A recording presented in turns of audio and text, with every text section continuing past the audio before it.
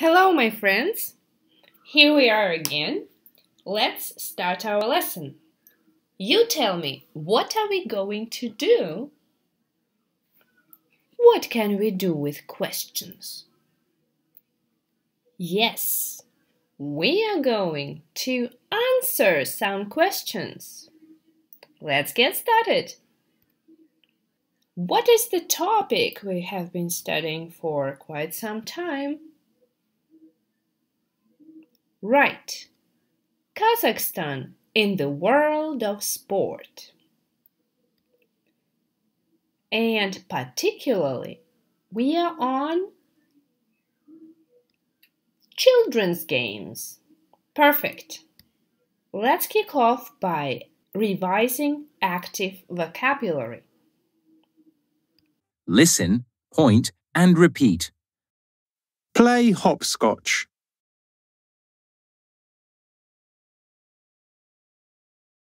Do a jigsaw puzzle.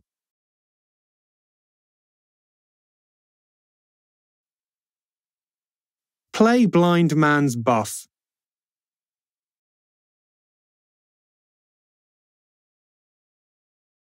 Juggle.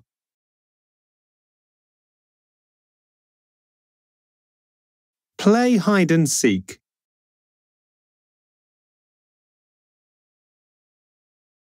Have a sack race. Play tag. Play video games.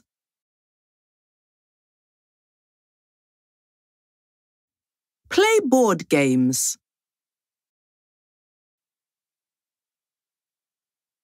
Go bowling. Play chess. Play leapfrog. Very good. Let's move on. Some more words. Together. Together.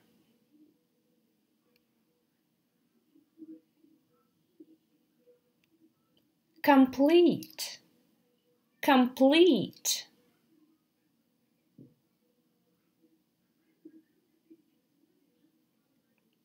Clown. Clown. Saturday and Sunday together. Weekends. Weekends. At weekends. At weekends. Now it's time to answer the questions. What does your friend like doing in his free time? And how often does he play this game? You have to use all these games to talk about Mary, Bob, Anne, Simon, Tom, and Vicky. For example, I will talk about Bob. What does your friend, meaning Bob, like doing in his free time? You try it. Check it. Compare the answers. Bob likes juggling. I hope you didn't forget to put S over here. Bob is he, as you remember. So he likes juggling. We use the verb with ing after like. How often does he play this game? He always juggles at weekends. He always juggles at weekends. Good luck to you! Tell me about the rest of the friends. What did we do?